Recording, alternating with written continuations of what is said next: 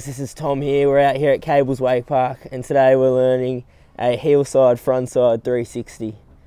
This is the first 360 to learn off the kickers. Alright, the first thing we got to learn is the cut. You want to have a progressive cut in at the kicker, flatten off about a metre before, let your arms out to a full extent and then at the top of the kicker pull your arms to your other hip and pass the handle behind your back. If you're left foot forward, this will be your right hip. If you're right foot forward, this will be your left hip.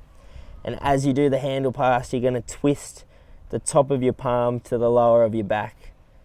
This will make it easier for you to grab the handle and then you'll be able to pass the handle into your other hand and then land on your board and right away. Hey guys going, this is Tom here out at Cables Wake Park and today we're learning a box transfer. This is generally the first transfer, however some people do learn toe side transfers first. To learn this, you can build your confidence up by going from the up ramp of the box back onto the box before progressing to the rail. Once you've done this for a few laps and you're ready to go to the rail, slowly cut in at the up ramp with a progressive cut, aiming at the main rail. Once you jump, lift your front foot up into the air keeping your front foot high and you'll land on the rail. If you come off early, you'll be fine as long as your front foot's in the air and you'll go back onto the box.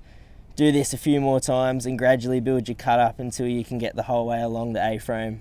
Once you land on the A-frame, land with bent, soft knees and you'll ride along the whole way. If you come off early, do it for a few more laps with a harder cut until you can get a full pull.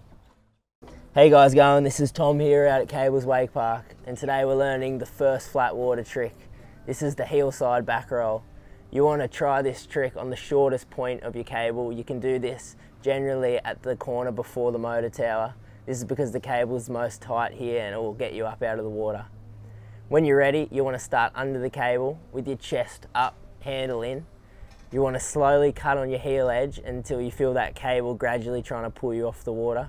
You'll feel the cable slowly want to pull you off the water and when you're ready to go, you want to scoop with your front foot behind your front shoulder and simultaneously you want to look over your front shoulder.